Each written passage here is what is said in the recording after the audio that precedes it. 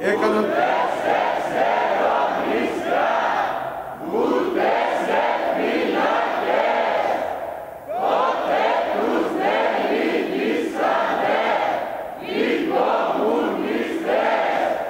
έκαναν το καθήκον τους με ηρωισμό και αυτοθυσία, πιστοί πάντα στο κόκκινο λάβαρο ως μέλη και στελέχη του ΚΚΕ. Φίλες και φίλοι, συντρόφισσες και σύντροφοι, χαιρετίζουμε με μεγάλη περηφάνεια τους αγώνες σας, τις ευρηματικές πρωτοβουλίες της ΚΝΕ, το αδάμαστο πνεύμα σας και τη θέλησή σας για να μην περάσουν τα σχέδια της κυβέρνησης στα πανεπιστήμια.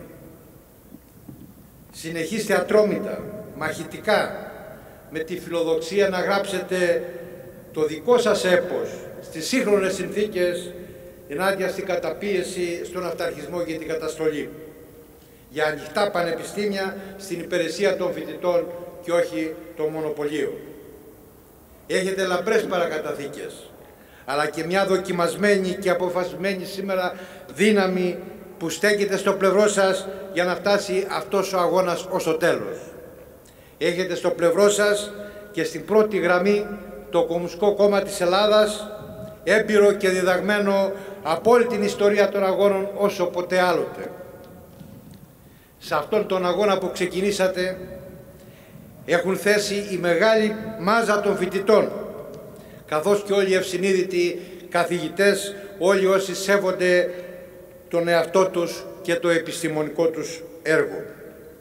Στους ώμους σας πέφτει η ευθύνη να βρείτε τους τρόπους και τους δρόμους για να μετατρέψετε την αγανάκτηση και την οργή που απλώνεται παντού, σε κάθε σχολή, στις οικογένειές σας, σε ορμητικό ποτάμι, αγώνα και αφύπνιση συνειδήσεων για καθολική αντίσταση και ανατροπή της αθλειότητας που ζούμε σήμερα. Ο αγώνας σας δεν αφορά μόνο τις συνδικαλιστικές και ακαδημαϊκές ελευθερίες στα ανώτατα εκπαιδευτικά ιδρύματα, στις συνθήκες σπουδών, στη γενικότερη λειτουργία των ΑΕΗ ως επιστημονικών και εκπαιδευτικών ιδρυμάτων. Συνδέεται και αφορά το μέλλον σας, τη ζωή σας, την προοπτική αυτού του τόπου. Το μεγάλο δίλημα που βρίσκεται μπροστά σας, μπροστά στη μεγάλη πλειοψηφία των φοιτητών, είναι αμήλικτο. Θα δεχτείτε να ζείτε ο σύγχρονοι μισθωτοί σκλάβοι και υπερέτες αδίστακτων οικονομικών και πολιτικών συμφερόντων ή ως ελεύθεροι άνθρωποι προσανατολισμένοι στην στράτευσή σας στον αγώνα της εργατικής τάξης και των συμμάχων της. Τα πράγματα είναι πολύ καθαρά. Ο πυρήνας των ανατροπών που σχεδιάζεται και προωθείται στα ΑΕΗ συνδέεται άμεσα με τις τρομοκρατικές και τρομακτικές ανατροπές που έρχονται και αφορούν τις εργασιακές σχέσεις όλων των μισθωτών και τη χρησιμοποίηση των σύγχρονων τεχνολογιών στην ένταση της εκμετάλλευσης και χειραγώγησης. Απαιτούν την πλήρη κατάργηση του οχτάωρου και της κυριακάτικης αργίας με την επιβολή δεκάωρης δουλειάς που στην πραγματικότητα γκρεμίζουν μισθούς και μεροκάματα.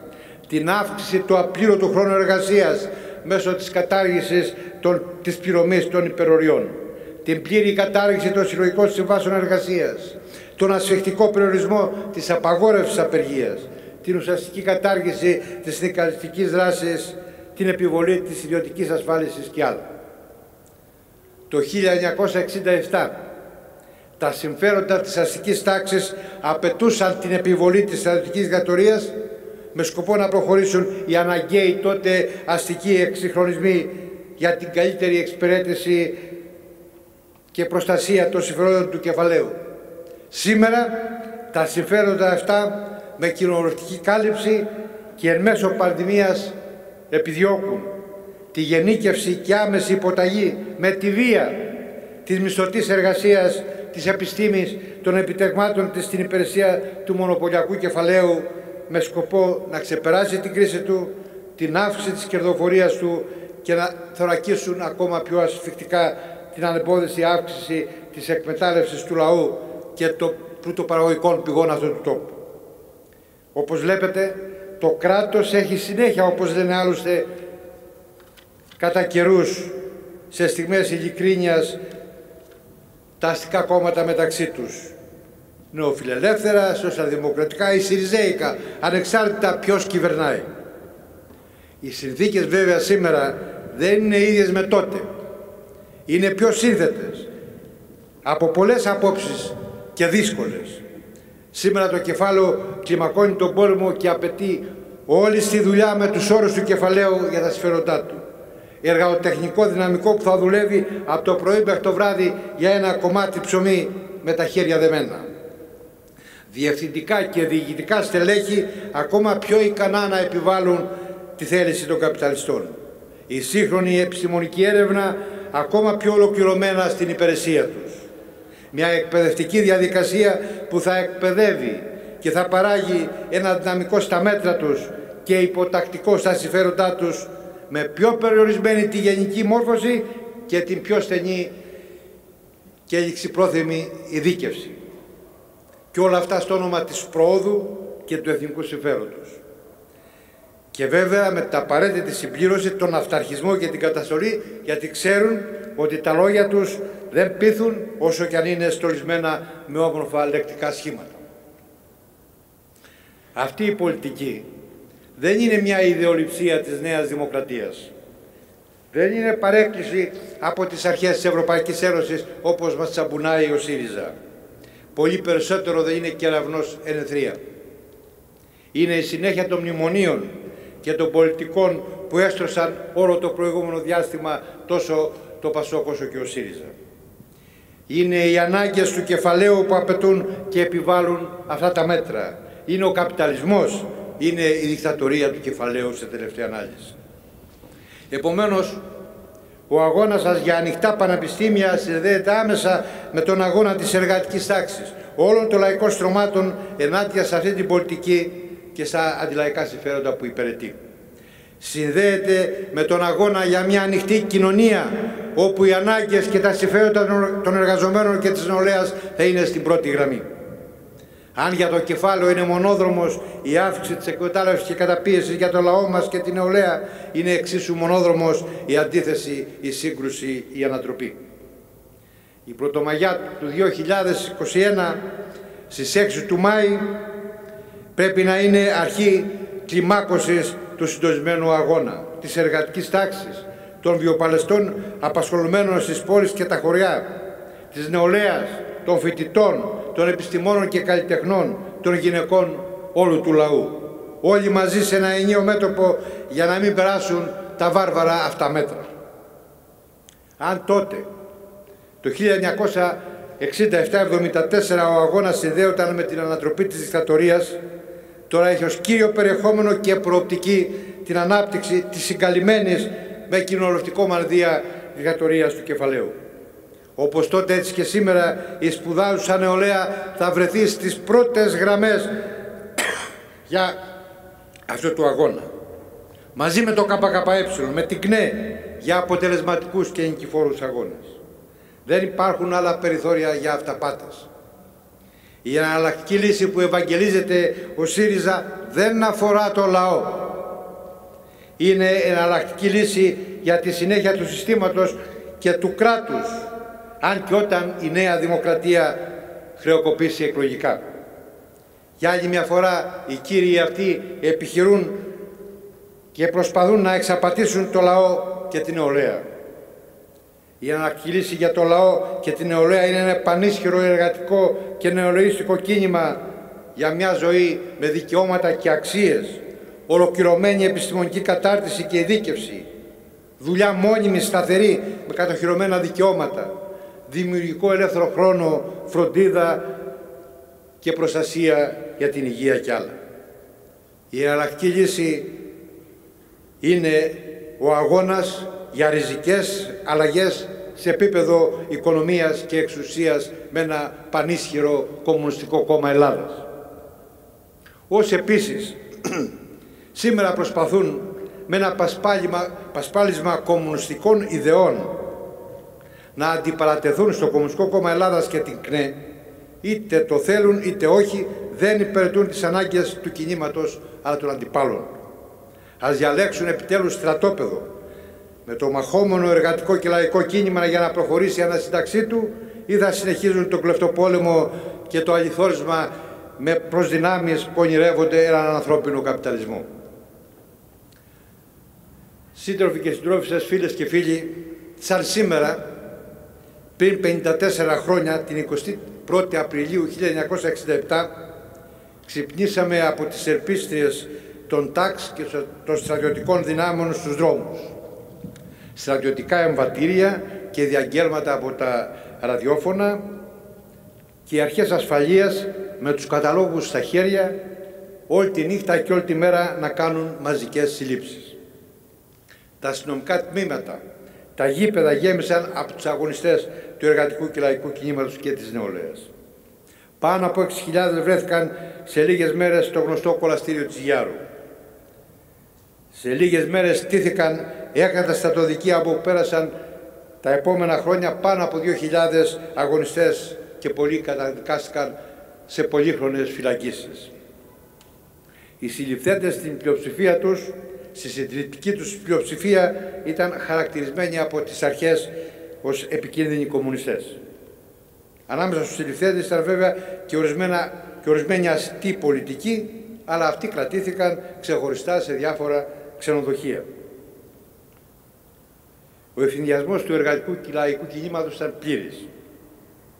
Ο ευθυνδιασμός και η σύγχυση που προκλήθηκε έδωσε τη δυνατότητα στους πραξικοπηματίες μέσα σε λίγες ώρες σχεδόν ανέμακτα να επιβληθούν, χωρίς αντίσταση. Με λίγα λόγια πιαστήκαμε στον ύπνο. Δεν ξέρω τι σκέψεις σας δημιουργούνται καθώς ξετυλίγονται μπροστά σας αυτές οι εικόνες. Και θα ήταν πέρα για πέρα δικαιολογημένα τα ερωτήματα. Γιατί πιαστήκαμε στον ύπνο; Γιατί δεν υπήρχε αντίσταση; Τι έπρεπε να γίνει; Και άλλα παρόμοια ερωτήματα. Για τις σημερινές γενιές των κομμουνιστών θα ήταν επίσης δικαιολογημένη άποψη ότι είναι αδιανόητο για την πρωτοπορία του αγώνα να βρεθεί σε θέση αιφνιδιασμού, σύγχυσης και παράλυσης τις πρώτες ώρες μπροστά στον αντίπαλο. Και πράγματι είναι αδιανόητο για ένα κόμμα σαν το δικό μας, το Κομμουνιστικό Κόμμα της Ελλάδας, που ματέωσε την επιστράτευση των δυνάμων κατοχής το 1943 με μια ογκώδη διαδήλωση χιλιάδων λαού, ένα κόμμα που οργάνωσε το έπος της εθνικής αντίστασης και του Δημοκρατικού Στρατού Ελλάδας να βρεθεί σε μια τέτοια κατάσταση. Στα χρόνια αυτά, μετά την κατάρρευση της δικτατορίας το Ιούλιο του 1974 έχουν αρκετά γραφτεί. Στο κέριο όμως ερώτημα, γιατί δεν υπήρχε αντίσταση την πρώτη μέρα κήρυξης της δικτατορίας, δεν δίνεται ουσιαστική απάντηση, δεν γίνεται έρευνα σε βάθος. Το Κομμουνιστικό Κόμμα Ελλάδας δεν έχει κανένα λόγο να παρακάψει αυτό το κέριο ερώτημα. Στην έκθεση του Ιστορικού Τμήματος της Κεντρικής Επιτροπής Δικτατορία 1967-74 κείμενα και ντοκουμέντα και σε ειδική ανακοίνωση του Πολιτικού Γραφείου της Κεντρικής Επιτροπής το Φλεβράρι του 2017 με την ευκαιρία της συμπλήρωσης 50 χρόνων από τη δικτατορία έδωσε μια πρώτη απάντηση. Το βιβλιαράκι αυτό υπάρχει εδώ από ό,τι είδα. Δεν ξέρω αν το έχετε προμηθευτεί, αν το έχετε διαβάσει. Καλό είναι να το μελετήσετε. Ολοκληρωμένα θα μελετήσει το κόμμα αυτό το ζήτημα μαζί με αρκετά ακόμα ζητήματα στο δοκίμιο της ιστορίας για την περίοδο 1967-74 που ετοιμάζεται. Τι έπρεπε λοιπόν να γίνει εκείνες τις μέρες; Καταρχήν δεν δικαιολογείται με κανέναν τρόπο ευθυδιασμός. Ό,τι και να πούμε. Για ένα επαναστατικό κόμμα η διαρκής ιδεολογική πολιτική επαγρύπνηση και ετοιμότητα άμεσης αντίδρασης με, με σε οποιοδήποτε αντιλαϊκές εξελίξεις όπως εκτροπές, πόλεμος και άλλα είναι πρωταρχικός όρος για να μπορεί να στέκεται στο ύψος του ως κόμμα που έχει την πρώτη, στην πρώτη γραμμή των καθηκόντων του την υπεράσπιση των λαϊκών ελευθεριών και δημοκρατικών δικαιωμάτων. Πολύ περισσότερο δεν δικαιολογείται ευθυδιασμός όταν ήδη υπήρχαν έντονες πληροφορίες και αρκετά γεγονότα που φόραζαν ότι ετοιμάζεται η δικτατορία. Σε τέτοιες περιστάσεις απαιτείται σχέδιο πολιτικής εκτίμησης και πρόβλεψης, η ατιμότητας για άμεση αποφασιστική κινητοποίηση του οργανωμένου λαϊκού κινήματος και κάλεσμα να πλατιάσει ο λαός και την νεολαία με τις καμπάνες που λέει ο λόγος για άμεση ενεργητική αντίσταση με όλα τα δυνατά μέσα. Οι κομμουνιστές, οι λαϊκοί αγωνιστές μπαίνουν στην πρώτη γραμμή και ηγούνται του αγώνα. Δεν τρέχουν, δεν τρέχουν να κρυφτούν ή να φυλάξουν το τομάρι τους. Ενεργούν με τη μεγαλύτερη δυνατή πρωτοβουλία και αυταπάρνηση. Το ότι πιάστηκε ευθυνδιαστικά το σύνολο των στελεχών την πρώτη μέρα είναι επίσης ένα πρόβλημα. Τη μέρα εκείνη οι δυνατότητες για άμεση κινητοποίηση του λαού υπήρχαν. Όπως αποδείχθηκε από δύο, από δύο σχετικά μαζικές διαδηλώσεις στο Ηράκλειο της Κρήτης και στα Γιάννενα, ήταν εφικτό να οργανωθούν παρόμοιες κινητοποίησεις και στην Αθήνα και σε άλλες μεγάλες πόλεις. Δεν μπορεί να προκαθοριστεί από τα πριν το αποτέλεσμα ενός ξεσηκωμού με στόχο τη ματέωση της δικτατορίας. Έχουμε όμως αντίστοιχη πείρα όπου με άμεση λαϊκή κινητοποίηση ματαιώθηκαν απόπειρες πραξικοπήματος στη δεκαετία του 20. Ούτε μπορούμε να αποκλείσουμε τον αντίκτυπο της μαζικής λαϊκής πάλης και κινητοποίησης στις ίδιες ένοπλες δυνάμεις, στα στρατευμένα παιδιά του λαού και σε πατριώτες εξωματικούς. Όπως φάνηκε στην πορεία, μέσα στο στρατό υπήρχαν αντιδράσεις και δυνάμεις που δεν συμφωνούσαν με τους συνταγματάρχες. Και αν ακόμα δεν υπήρχαν τότε άμεσα αποτελέσματα, είναι βέβαιο ότι ο αγώνας από καλύτερες θέσεις θα δίνονταν στην πορεία για την ανάτροπη της δικτατορίας. Δυστυχώς δεν έγινε τίποτα γιατί υπήρχε, δεν υπήρχε τέτοιος προσανατολισμός και κατά συνέπεια αντίστοιχο σχέδιο. Δεν ισχυριζόμαστε ότι είναι εύκολη και απλή υπόθεση η αντίσταση και πολύ περισσότερο η ματέωση της στρατιωτικής δικτατορίας. Ούτε μπορεί να γίνει αποφασιστικός αγώνας με αυτοσχέδιες ενέργειες της στιγμής. Όταν όμως ένα κίνημα είναι ζωντανό, μάχημο, προετοιμασμένο και διαπραγματευμένο για σκληρούς ταξικούς αγώνες, μπορεί να τα βγάλει πέρα με αξιώσεις και να προσανατολιστεί άμεσα για καταμέτωπο αγώνα. Και κάτι ακόμα. Όταν αναφερόμαστε στην ανάγκη αντίσταση στη θεατρική δικτατορία την πρώτη μέρα, δεν εννοούμε κήρυξη καμιάς επανάστασης. Οι επαναστάσεις δεν κηρύσσονται από άμφωνος. Η σοσιαλιστική επανάσταση για την οποία εμείς πιστεύουμε οριμάζει και αναπτύσσεται με τις δικές της νομοτέλειες. Εννοούμε αντίδραση στην κατάργηση στοιχειωδών δημοκρατικών ελευθεριών και δικαιωμάτων στα πλαίσια μιας αστικής κοινοβουλευτικής δημοκρατίας. Αγώνας φυσικά που προσανατολίζεται και για την εξάλληψη των αιτιών που την προκάλεσαν. Το ερώτημα, γιατί δεν οργανώθηκε αυτός ο αγώνας από την πρώτη μέρα; Δεν αναφερόμαστε στο επόμενο διάστημα, γιατί έστω και με καθυστερήσεις ο αγώνας ξεκίνησε και κλιμακώθηκε στην πορεία με μεγάλη αυτοθυσία. Το Κομμουνιστικό Κόμμα Ελλάδας, παρότι καταδίκασε αμέσως τη δικτατορία και κάλεσε την εργατική τάξη, την νεολαία, όλο το λαό σαν συμβίβαση πάλι, δεν βρέθηκε στο ύψος των περιστάσεων. Κανένας άλλος, παρά μόνο το ΚΚΕ θα μπορούσε να οργανώσει και να ηγηθεί την πρώτη μέρα αυτής της λαϊκής αντίστασης. Γιατί δεν μπόρεσε το ΚΚΕ να πάρει αυτή την ευθύνη; Θα το πούμε χωρίς υπερφυγές. Έπασχε εκείνο τον καιρό από οπορτονοστική τύφλωση. Ορισμένα στοιχεία. Καταρχήν ήταν εκτός νόμου. Ήταν σε παρανομία από το 1947. Ήταν σε συνεχή διωγμό. Τα τελευταία του στελέχη απολύθηκαν από τις φυλακές ένα χρόνο πριν τη δικτατορία. Η καθοδήγηση στο μεγαλύτερο μέρος ήταν στο εξωτερικό, στην προσφυγιά. Το πιο βασικό ήταν ότι στο εσωτερικό της χώρας είχε διαλύσει τις κομματικές του οργανώσεις από το 1968, πράγμα απαράδεκτο και ασυμβίβαστο για ένα κομμουνιστικό κόμμα. Οι κομμουνιστές και οι οπαδοί του κόμματος είχαν ενταχθεί με απόφασή του στο κόμμα της ΕΔΑ, κόμμα σοσιαλδημοκρατικής απόχρωσης. Το ΚΚΕ είχε χάσει την οργανωτική του αυτοτέλεια. Στις γραμμές του κόμματος διεξάγονταν σκληρή ιδεολογική διαπάλη με χαρακτηριστικά φραξιοριστικής υπονομευτικής δράσης με κύριο αντικείμενο τη σοσιαλδημοκρατικοποίηση και τη διάλυση του ΚΚΕ. Υπήρχαν ισχυρές δυνάμεις και μέσα στην Ελλάδα και στο εξωτερικό, ακόμα και μέσα στις φυλακές που θεωρούσαν ότι δεν χρειάζεται το ΚΚΕ και ότι μπορεί να αντικατασταθεί από την ΕΔΑ. Άποψη που υποστήριζαν και αδερφά κομμουνιστικά κόμματα.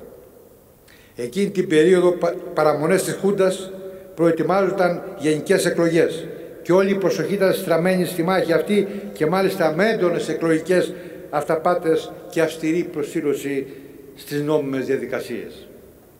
Η ηγεσία της ΕΔΑ, παρότι στην πλειοψηφία ήταν κομμουνιστές, έτρεμε στην ιδέα να μην κατηγορηθούν ότι έχουν σχέσεις και δεσμεύσεις με το παράνομο Κομμουνιστικό Κόμμα Ελλάδας. Ήταν τόσο μεγάλος ο προσανατολισμός και η οπορτουριστική τύφλωση που την 21η Απρίλη η εφημερίδα ΕΔΑ, της ΕΔΑ Αυγή κυκλοφορούσε με κύριο άθρο γιατί δεν θα γίνει δικτατορία. Γενικότερα στην προγραμματική, ιδεολογική πολιτική και οργανωτική πολιτική του ΚΚΕ κυριαρχούσε με λίγα λόγια οπορτουριστική γραμμή. Η στρατηγική του ήταν διαποτισμένη με τη λογική των κυβερνήσεων συνεργασίας με ένα τμήμα της αστικής τάξης στα πλαίσια του καπιταλισμού ως ένα πρώτο στάδιο στην πορεία προς τον σοσιαλισμό και μέσα από ειρηνικές μορφές πάλι. Μέσα σε αυτές τις συνθήκες, παρά την αγωνιστική θέληση και το αναναμφισβήτητο ηρωισμό των κομμουνιστών, το κόμμα αποδείχθηκε ανέτοιμο και ανήμπορο για σοβαρή μάχη. Δεν ήταν υπερβολή, δεν θα ήταν υπερβολή να πούμε ότι ο αντίπαλος είχε εκτίμηση, είχε εκτιμήσει σωστά όλη αυτή την κατάσταση. Δεν μπορεί να εκτιμήσει κανείς βέβαια τι θα γινόταν αν ήξεραν ότι απέναντί τους θα υπήρχε μια αποφασισμένη και ετοιμοπόλεμη δύναμη με ισχυρή επίδραση στο εργατικό και λαϊκό κίνημα. Το Κομμουνιστικό Κόμμα της Ελλάδας, παρόλα αυτά τα προβλήματα και τις δυσκολίες, συνήλθε γρήγορα ξεκαθάρισε τις γραμμές του από τους οπορτονιστές μέσα στη δικτατορία. Ανασύνταξε τις δυνάμεις του και πέρασε στην αντεπίθεση. Από τα παραπάνω βγαίνουν πολύ χρήσιμα συμπεράσματα που έχουν πολύ μεγάλη αξία για το παρόν και το μέλλον. Το πιο σπουδαίο και βασικό συμπέρασμα είναι το παρακάτω. Το Κομμουνιστικό Κόμμα της Ελλάδας πρέπει να είναι κόμμα παντός καιρού. Να βρίσκεται σε διαρκή ιδεολογική πολιτική επαγρύπνηση και ετοιμότητα, με ικανότητα πρόβλεψης των εξελίξεων και με υψηλή οργανωτική ετοιμότητα προκειμένου να ανταποκριθεί σε οποιασδήποτε συνθήκες. Η θεωρητική του επάρκεια, το επαναστατικό του πρόγραμμα, η επαναστατική αντίληψη και γραμμή πάλιες, η οργανωτική του πολιτική και κυρίως η αυτοτελή ύπαρξη και δράση του ΚΚΕ δεν είναι θέματα ακαδημαϊκού ενδιαφέροντος. Είναι ζωτικής σημασίας ζητήματα και προϋποθέσεις για να είναι το ΚΚΕ παντός καιρού. Πάνω σε αυτά τα θέματα δεν επιτρέπεται κανένας είδους εφησυχασμός, συμβιβασμός, υποχώρηση. Επιμένουμε σύντροφοι και συντρόφισσες να βοηθούν βαθιά τα αρνητικά συμπεράσματα που βγαίνουν από την περίοδο που εξετάζουμε και κυρίως για την έλλειψη ετοιμότητας του ΚΚΕ με την κήρυξη της δικτατορίας γιατί αποδείχνουν πολύ καθαρά, με πολύ καθαρό τρόπο τις συνέπειες που έχει η υποτίμηση των παραπάνω προϋποθέσεων για τις τύχες του εργατικού και λαϊκού κινήματος. Για να μπορεί το ΚΚΕ να στέκεται περήφανο και με το κεφάλι ψηλά απέναντι στην εργατική τάξη, την νεολαία μας, το λαό μας, στη διεθνή εργατική τάξη και στην ιστορία, πρέπει να κατακτά και να επιβεβαιώνει κάθε ώρα, κάθε στιγμή, σε κάθε φάση τον πρωτοπόρο επαναστατικό του ρόλου. Γιατί επιμένουμε; Γιατί ζούμε στην εποχή του υπεριαλισμού, των μονοπωλίων, σε εποχή περάσματος από τον καπιταλισμό στο σοσιαλισμό, με ιδιαίτερο γνώρισμα την αντεπανάσταση στις χώρες της σοσιαλιστικής οικοδόμησης, αντεπανάσταση που συνεχίζει να επιδρά ακόμα αρνητικά σε πολλά επίπεδα και ιδιαίτερα στο παγκόσμιο κομμουνιστικό και εργατικό κίνημα. Αυτό ζούμε σήμερα. Την παρακμή του καπιταλισμού που εκδηλώνεται με χίλιους τρόπους. Η αναγκαιότητα επίσης του σοσιαλισμού κομμουνισμού προβάλλει από κάθε πτυγή αυτού του συστήματος. Μέσα σε αυτές τις συνθήκες που ζούμε και παλεύουμε δεν πρέπει να ξεχνάμε δύο θεμελιακής σημασίας ζητήματα. Το πρώτο, η αστική τάξη έχοντας συνείδηση της θέσης στην οποία βρίσκεται, ιστορικά ξεπερασμένη, υπερασπίζεται με απόλυτη συνέπεια τα ταξικά της συμφέροντα και είναι υποχρεωμένη ως εκ τούτου να παίρνει όλο και πιο αντιδραστικά μέτρα, να μην διστάζει μπροστά σε κανένα έγκλημα για να υπηρετεί το σκοπό της. Όλος ο 20ος αιώνας, τόσο στη χώρα μας, όσο και διεθνώς, είναι γεμάτος από παραδείγματα τέτοιας αντιδραστικής συμπεριφοράς.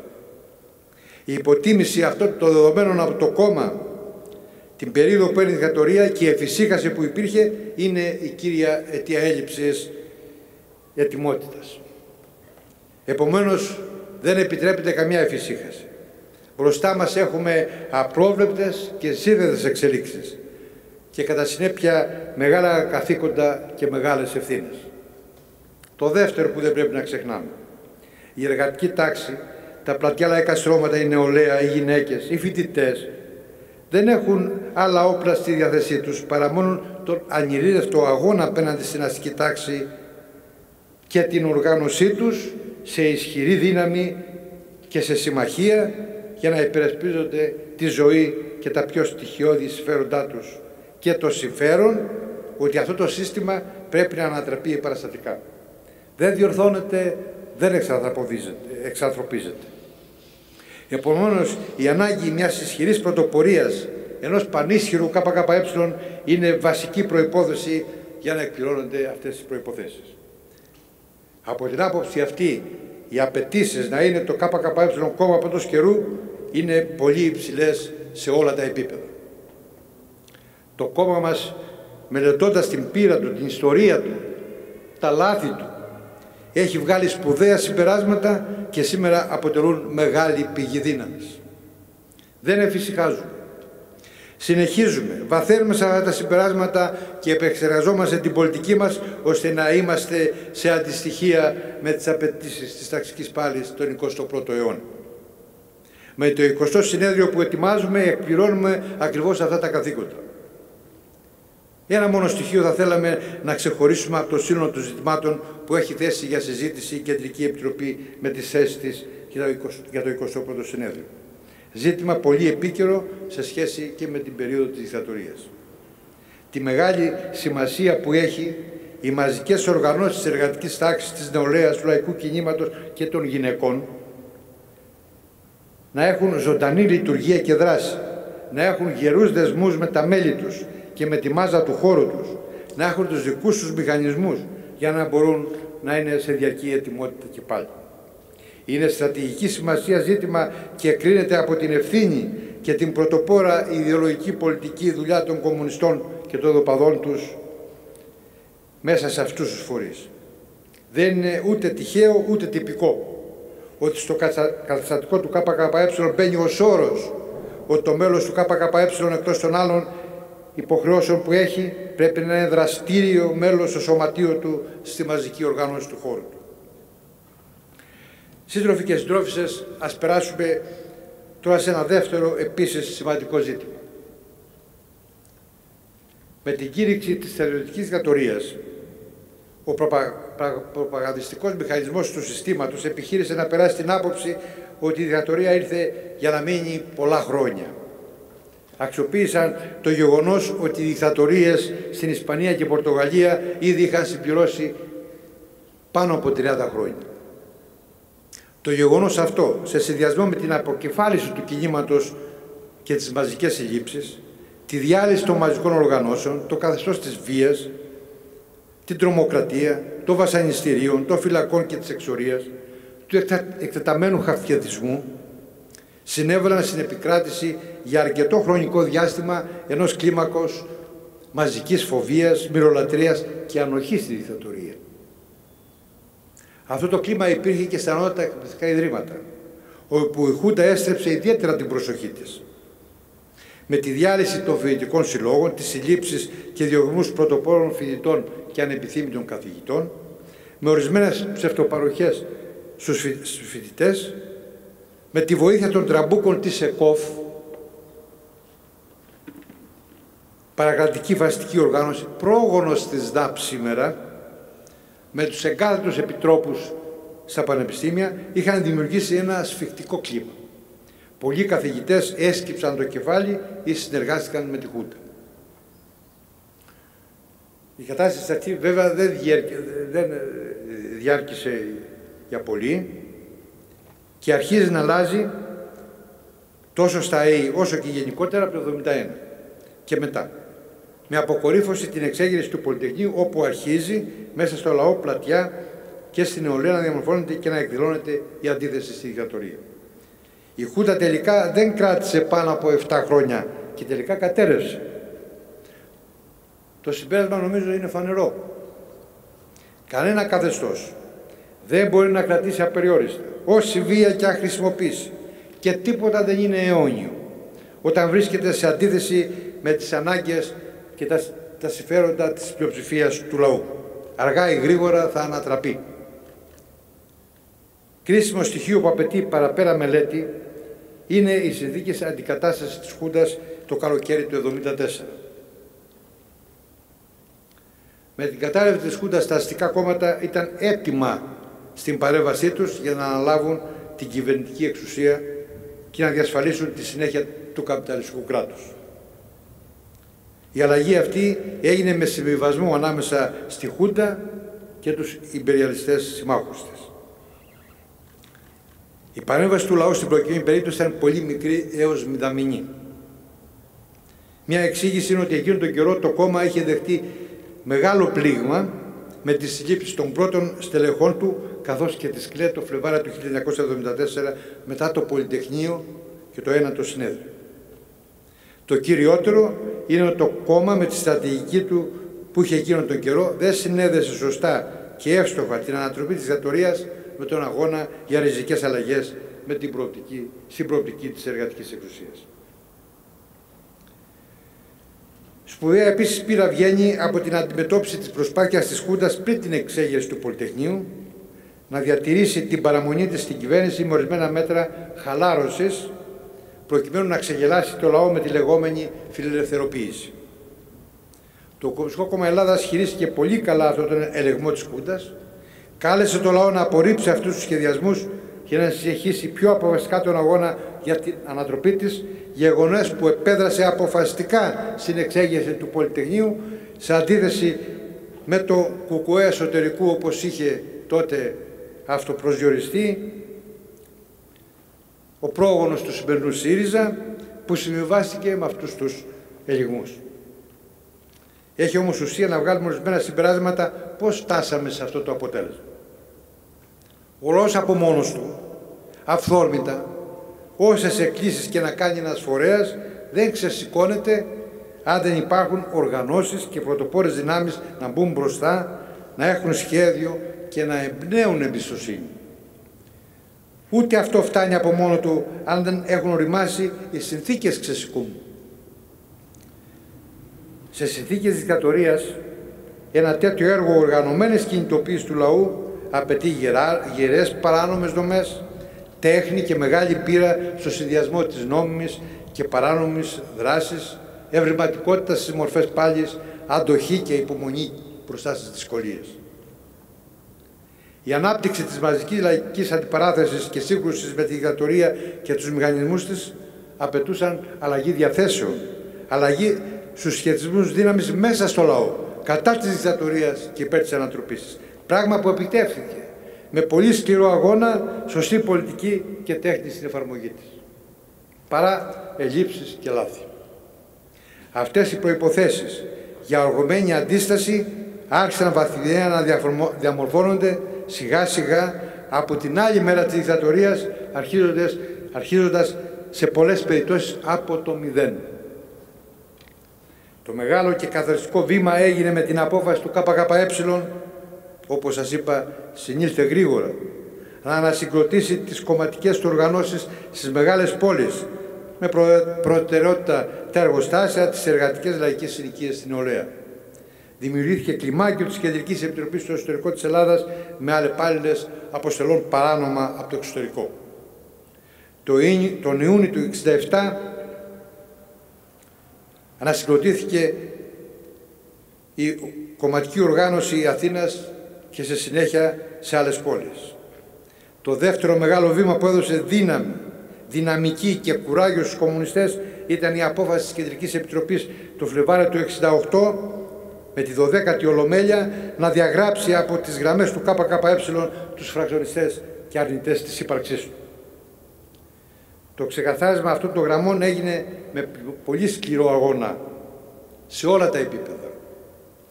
Το τρίτο και μεγάλης ιστορικής σημασίας βήμα ήταν η απόφαση να ιδρύσει την κομμουνιστική νεολαία τον Αύγουστο του 1968. Με αυτές τις προϋποθέσεις μπήκαν οι βάσεις για τη συσπήρωση του λαού και της νεολαίας ενάντια στη Χούντα και την ανατροπή της. Δεν ήταν εύκολη πορεία. Έπρεπε να ξεπεραστούν πολλές δυσκολίες ώσπου να στεριώσουν οι οργανώσεις, να δημιουργηθούν τα απαραίτητα δίκαια επαφής και φορείς ενεργοποίησης λαϊκών δυνάμεων. Μια από τις κυριότερες δυσκολίες ήταν τα αλλεπάλληλα χτυπήματα της ασφάλειας, οι συλλήψεις παράνομων στελεχών και η διάλυση κομματικών οργανώσεων. Καθώς ήταν στο κέντρο της προσοχής και στη συνεχή προσπάθεια διάλυσής τους. Αποδείχθηκε για ακόμα μια φορά ότι το κόμμα παρά την πολύχρωμη παρανομία τα σοβαρά προβλήματα που έχει στη γραμμή του και τα λάθη που έκανε είχε μεγάλο κύριο μέσα στην εργατική τάξη, στην νεολαία και είχε βαθιές ρίζες. Γι' αυτό και μπόρεσε σχετικά γρήγορα να ξεπεράσει τα όποια προβλήματα και να συνέρθει.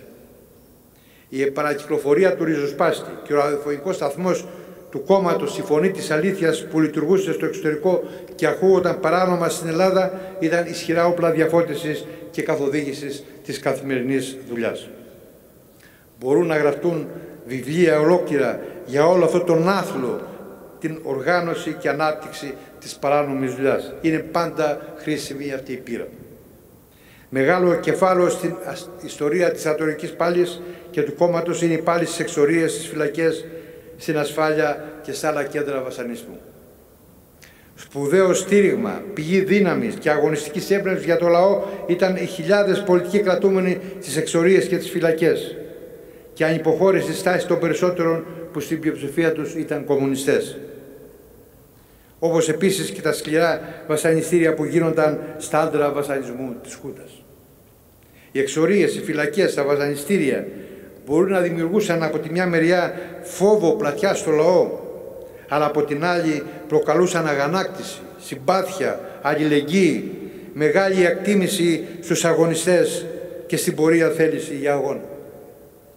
Η αλέγηση στάση χιλιάδων κομμουνιστών και κομμουνιστριών στην ανάκριση, στη φυλακή και την εξορία ήταν ο αναντικατάστατος παράγοντας που συνέβαλε να σπάσει το κλίμα τρομοκρατίας ή το πάθιας να πάρει η αντιθετορική πάλι οι μαζικές διαστάσεις. Ήταν πραγματικά ένα κάστρο άπαρτο. Παράγοντας επίσης σημαντικός που συνέβαλε στο δυνάμωμα του αντιθετορικού αγώνα ήταν η αλληλεγγύη που αναπτύχθηκε σε μαζική κλίμακα στο εξωτερικό. Το κόμμα μέσα σε αυτές τις συνθήκες μπόρεσε να επεξεργαστεί καλύτερα την πολιτική του και την τακτική του στην ανάπτυξη της αντιθετορικής πάλης χωρίς ακόμα να έχει απαλλαγή από μια σειρά λαθεμένες στρατηγικές επιλογές. Κυρίαρχος στοιχείο στη γραμμή του ήταν ότι η Χούτα θα ανατραπεί από την οργανωμένη μαζική πάλη του λαού με όλες τις μορφές πάλης, χωρίς να αποκλείεται και η μορφή της ένοπλης πάλης. Σε αντίθεση και σε αντιπαράθεση με τα αστικά κόμματα που επιδίωκαν την ανατροπή της δικτατορίας μέσω συνονοήσεων με διάφορα υπεριαλιστικά κέντρα. Όχι μόνο δεν ήθελαν τη λαϊκή κινητοποίηση, αλλά φοβούταν και την εχθρεύονταν. Σε αυτή την κατεύθυνση το ΚΚΕ συνέβαλε αποφασιστικά να αρχίσουν να αναπτύσσονται οι εργατικές λαϊκές αντιστάσεις και αιστείες αγώνα με βάση τα οξυμένα προβλήματά τους σε συνδυασμό με το ζήτημα ανατροπής της Χούντας που έφτασαν παραμονές του Πολυτεχνείου σε μαζικές απεργιακές κινητοποίησεις. Να σημειώσουμε ιδιαίτερα ότι το δυνάμωμα της λαϊκής αντίστασης είχε επίδραση και μέσα στο στρατό που την περίοδο αυτή εκδηλώθηκε σημαντική δραστηριότητα κατά των συνταγματαρχών. Μέσα σε αυτά τα πλαίσια έδρασε και η Κομμουνιστική Νορέα Ελλάδας. Γρήγορα, από μια χούφτα στην κυριολεξία μέλη, άρχισε να αναπτύσσεται, να απλώνεται γρήγορα και να γίνεται μαζική οργάνωση για τη συγκεκριμένη περίοδο με κύρος και επιρροή στα πανεπιστήμια. Η δημιουργία της παράνομης αντιδικτατορικής ΕΦΕ και της μαθητικής οργάνωσης δημοκρατικής νεολαίας της ΜΟΔΝΕ με πρωτοβουλίες της ΚΝΕ του 1971 έπαιξε αποφασιστικό καταληπτικό ρόλο στην ανάπτυξη της αντιδικτατορικής πάλης των φοιτητών και στην εξαγέρση του Πολυτεχνείου. Η δημιουργία της ΑΝΤΕΒΕ, εμβληματική σύλληψη και πρωτοβουλία της ΚΝΕ, προέκυψε ως ανάγκη δημιουργίας ενός οργάνου καθοδήγησης του φοιτητικού κινήματος που είχε αρχίσει να αναπτύσσεται το 1971-1972.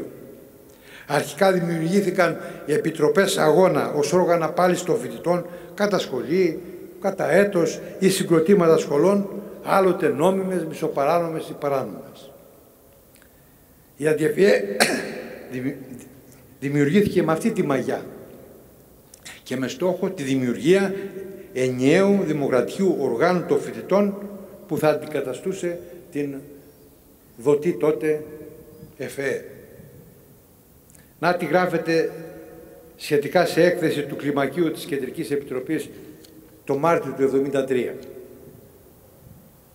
Ε, το κλιμάκιο που ήταν εδώ στην Ελλάδα ενημέρωνε κατά καιρούς το πολιτικό γραφείο, την Κεντρική Επιτροπή για τις δραστηριότητες που γίνονται, τα προβλήματα με παράνομη επικοινωνία. Έγραφε δική της, της ΚΝΕ, είναι η προσπάθεια και η δημιουργία της αντιδικτατορικής ΕΦΕ που σήμερα μπορούμε να πούμε ότι συσπηρώνει γύρω της την αντιδικτατορική σπουδάζουσα νεολαία στην πάλη για τη λύση των προβλημάτων της, τις συνδικαλιστικές και ακαδημαϊκές ελευθερίες. Ανάπτυξε τους φοιτητικούς και σπουδαστικούς αγώνες στην Αθήνα, Θεσσαλονίκη, Πάτρα, Γιάννενα με σπουδαστικά αιτήματα αλλά και καθαρά πολιτικά αιτήματα όπως την 21η Τρίτου 72, την Πρωτομαγιά του 72 και τους τελευταίους με προθυμένα αντιδικτατορικά και αντιαμερικάνικα συνθήματα, δημοκρατικές ελευθερίες, την απομάκρυση του έκτου στόλου και κατά των Αμερικανών. Η έκθεση υπογράφεται από τη συντρόφισσα Λούλα Λογαρά, που ήταν στο κλιμάκι τότε και καθοδηγούσε εκ μέρους του του κλιμακίου την ΚΝΕ, είχαμε στενή συνεργασία, μια αξιόλογη συντρόφισσα. Ας είναι ελαφρό το χώμα που τη σκεφάζει. Η ΚΝΕ τέλος και η ΑΔΙΕΦΕ πρωτοστάτησε και είχε αποφασιστική συμβολή σε όλες τις φοιτητικές κινητοποίησεις, την κατάληψη της νομικής και ξεσκόμμα του Πολυτεχνείου. Οι εξελίξεις αυτές σας είναι γνωστές να μην επεκταθώ. Σύντροφοι και συντρόφισσες, ένα ακόμα ζήτημα για να κλείσω την ομιλία. Γιατί έγινε η δικτατορία; Τα αστικά κόμματα, η αστική τάξη, το σύνολο, το σύνολό της συσκοτίζει την ιστορική αλήθεια ως προς τις αιτίες που έγινε η δικτατορία. Άλλοτε ισχυρίζονται ότι έγινε από μια ομάδα επίορκων και άφρονων αξιωματικών του στρατού και άλλοτε ότι ήταν μια ανεπιθύμητη παρένθεση στη λειτουργία της αστικής κοινωνικής δημοκρατίας, την οποία μάλιστα αναγορεύουν ως το τελειότερο σύστημα διακυβέρνησης. Η άποψη αυτή είναι κυρίαρχη. Δεν είναι όμως η αλήθεια. Η δικτατορία μπορεί να απαγόρευσε τη λειτουργία των τότε νόμιμων κομμάτων, να έκλεισε το κοινοβούλιο, να συνέλαβε ή να φυλάξει προσωρινά τους αστού πολιτικούς, υπηρέτησε όμως με τον καλύτερο τρόπο εκείνη την περίοδο τα συνολικά συμφέροντα της αστικής τάξης. Η δικτατορία δεν έγινε με σκοπό την πάταξη της αναρχίας και την αντιμετώπιση του κομμουνιστικού κινδύνου, όπως έλεγαν οι συνταγματάρχες. Αυτά ήταν τα προσχήματα. Έγινε και επιβλήθηκε για να ξεπεραστούν προβλήματα και αντιθέσεις που ήταν οξυμένα μέσα στους κόλπους του αστικού συστήματος και των κομμάτων της εποχής.